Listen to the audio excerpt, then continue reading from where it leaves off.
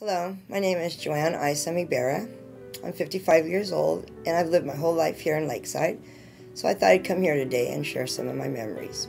My family's been here for many generations and I'm very proud of that fact. In fact, my uncle by marriage, my father's brother's wife's father, George Miller, has a lot of history here. He was the last stagecoach driver to go between San Diego and Julian.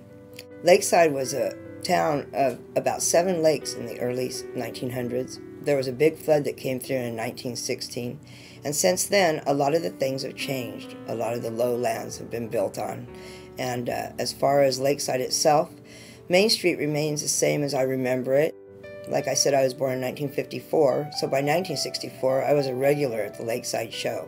Mrs. Kersavi ran the Lakeside Show on Main Street, and I'm telling you that Poor Mrs. Kasavi, she probably babysat every child that was ever born in Lakeside for a good decade because the parents would just drop us off at the Lakeside show for 50 cents. Across the street was Sam and Katie's liquor store, which a lot of us Lakeside kids remember because they had a glass case in there where you could buy your candy for a penny. So we'd go there first, buy our candy, and go to the Lakeside show. And I remember in the old days walking over here to the park with my grandma to feed the ducks that there used to be a pump house that sat right there at Lakeshore and Vine. And there was nothing more beautiful than to listen to that cool water in that pump house underneath of those date palms, picking up dates and listening and feeling the mist that came off of that.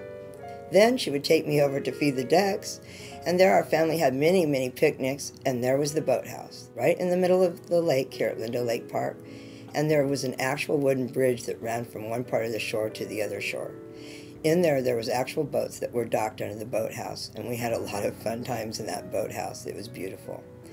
Since then, they've taken out the bridge, and now the boathouse does exist, but it's quite different than it was in the old days. We still do have our Lakeside Junior High, where my mother attended in 1937, and uh, we still do have the Lakeside district school building that's still there. It's been remodeled, sitting next to Vons, adjacent to Vons parking lot. And uh, as I remember Lakeside being, they've kept Main Street pretty much the same. The Historical Society was the church that was there, built there in the turn of the century.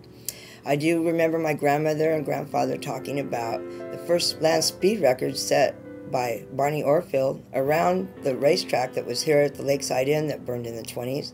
Uh, Barney Oldfield speed record was 60 miles per hour in the early 20s. So that's some of the history I remember of my family. Very proud to grow up in Lakeside. Thank you very much for your time.